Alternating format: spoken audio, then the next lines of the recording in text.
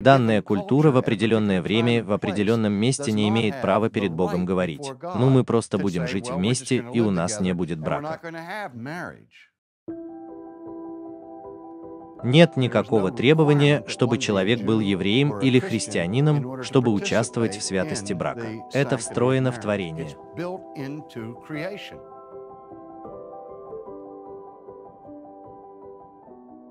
Некоторые люди говорят, что все, что Бог дал через Моисея в Ветхом Завете, больше не относится к нам. Или какие бы то ни было условия, которые Бог дал через Иисуса своему народу в Новом Завете, могут относиться к христианам, но они неприменимы к нехристианам. Но любой закон, который Бог вкладывает в завет творения, простирается настолько далеко, насколько простирается творение.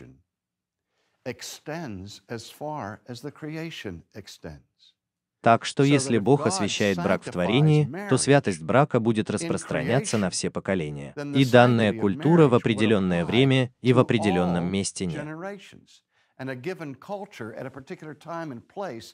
Имей право перед Богом отказаться от святости брака и сказать, «Ну, мы просто будем жить вместе, и у нас больше не будет браков». Это старомодная пуританская или христианская концепция, которая нас не связывает.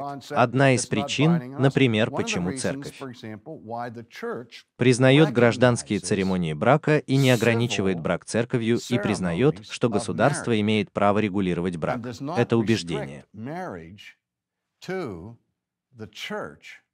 and grants that the state has the right to regulate marriage, этот брак не просто дан людям как евреям или людям как христианам, но он дан людям, что именно в этом государстве Бог благословляет и освящает весь человеческий род, и для участия в нем не требуется быть евреем или христианином.